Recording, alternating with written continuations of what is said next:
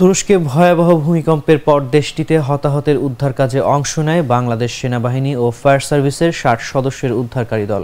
তুরস্কে উদ্ধার কাজ শেষ করে দেশে ফিরেছে বাংলাদেশি উদ্ধারকারী দল। উদ্ধারকারী দলের সদস্যদের মধ্যে ছিলেন সেনাবাহিনীর চব্বিশ জন, ফায়ার সার্ভিসের বারো জন দশজন চিকিৎসক ও বিমান বাহিনীর ক্রু ছিলেন চোদ্দ জন। মঙ্গলবার রাত আটটায় বিমানবাহিনীর সি অন থ্রি জিরো বিমানযোগে তেজগাঁও বিমানবন্দরে অবতরণ করে বিশেষ উদ্ধারকারী দল। রাতে জাগো নিউজকে এ তথ্য জানিয়েছেন Fire Service and Civil Defence দপ্তরের ভারপ্রাপ্ত কর্মকর্তা মোহাম্মদ শাহজাহান শিকদার।